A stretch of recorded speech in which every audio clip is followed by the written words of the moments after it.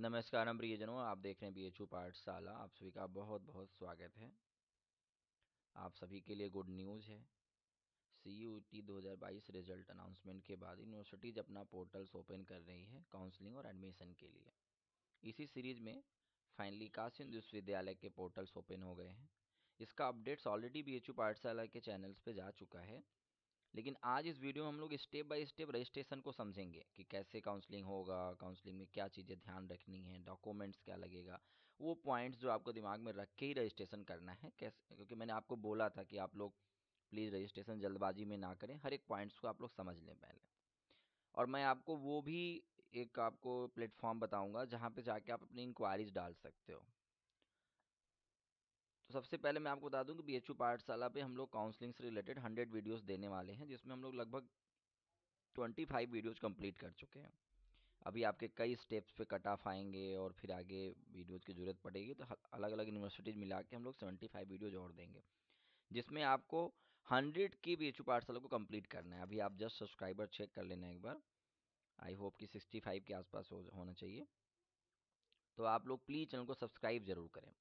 अब ये जो डैशबोर्ड है, ये बी ऑनलाइन का डैशबोर्ड है। किसका है? बी ऑनलाइन का। ठीक है, अब आपको देखो, दिख रहा होगा। ये regular exams, school, student portal, ये सब आपको नहीं छूना है। ठीक है, ये आपके काम का नहीं है। ये आपके काम का तब होगा जब आप सेलेक्ट हो जाओगे, यानी जब यहाँ पढ़ने लगोगे। आपको स्क्रीन को नीचे ले जाना है। यहाँ पे है UG admission, registration and counselling 2022 and 23 registration for UG यहाँ पे लिखा है क्लिक हेयर टू अप्लाई। लेकिन अभी अप्लाई करने से पहले हम लोग देखते हैं कि रजिस्ट्रेशन एंड काउंसलिंग प्रोसेस क्या है और रजिस्ट्रेशन स्टेप्स फॉर कैंडिडेट्स क्या है। ठीक है? ओके हम लोग स्टार्ट करते हैं। सबसे पहले तो हम लोग इसका प्रोसेस देखते हैं। ओके यहाँ पे आपके लिए एक लेटर है। बड़ा ही अच्छा सा लेटर लिखा गया है। Letter for registration and admission 2022-23 in UG courses UG courses के लिए है और यहाँ पे भी इन्होंने सब्जेक्ट्स में डाल दिया है कि ऑनलाइन काउंसलिंग है ठीक है? Provisional admission to undergraduate courses subject to availability of seats at your normalised course. यानी यहाँ पे इन्होंने मेंशन कर दिया है कि सीयूटी के नॉर्मलाइज्ड मार्क्स के ही बेसिस पे हम लोग आपको एडमिशन दे रहे हैं ना कि आपके एक्चुअल मार्क्स पे। मतलब धोखाधड़ी है लेकिन धोखाधड़ी जैसा एक्सेप्ट नहीं करना चाहते इट्स ओके okay, हम लोग आगे बढ़ेंगे।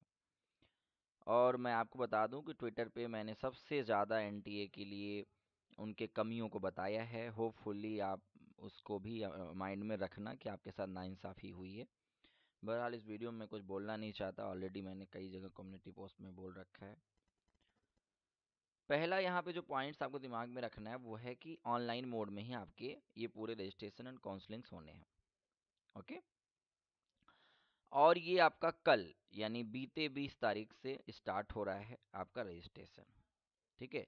Fill up the preference entries through the B H U student counselling portal, ये आपका 26 सितंबर से शुरू हो जाएगा, यानी बस जस्ट आज अभी आप रजिस्ट्रेशन करोगे, मैं आपको बताऊँगा अभी वीडियोज़ में, लेकिन आपको 26 से प्रेफरेंस भरने का भी मौका दिया जाएगा, ओके? और जो इसके बंद करने का प्रेफरेंस का है, वो है थर्ड ऑफ़ अक्टूबर, ग्यारह बज के उनसठ मिनट पीएम, यानी रात को ठीक है? आगे बढ़ते हैं चौथे नंबर पे। यहाँ पे आपको एंट्री करने के लिए बताया जा रहा है कि बी ऑनलाइन पे जाना है, फिर सी यू एप्लीकेशन नंबर ठीक है? वही है जो आपको यूज़र आईडी है।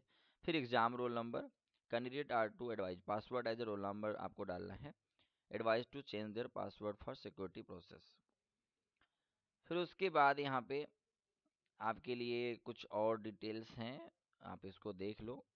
ठीक है, जो मेन मेन मैं वो बताता हूँ, जैसे कि आपको डॉक्यूमेंट्स को लेके है और आपके पेमेंट को लेके है। एक बार हम लोग आ जाते हैं इसके हिंदी वर्जन पे जैसे कि बाकी बच्चों को ज़्यादा समझ में आए। ठीक है, ये। ओके, ये है, देखो। यहाँ पे हम लोग देखते हैं, ये। सीयूटी का स्कोर कार्ड यानी जिस, जो आपके मार्क्स आए हुए हैं, जिसमें नॉर्मलाइज्ड परसेंटाइल है वो।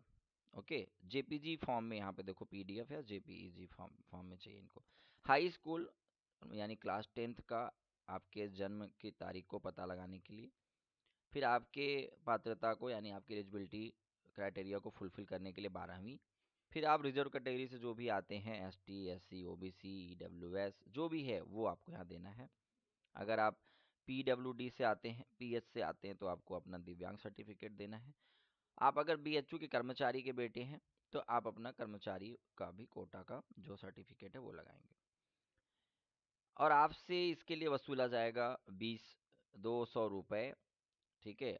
कोशिश करना, ये पैसे इनको बढ़ा के दे देना, पता नहीं कितने पैसे चाहिए इन लोग को, भगवान जाने।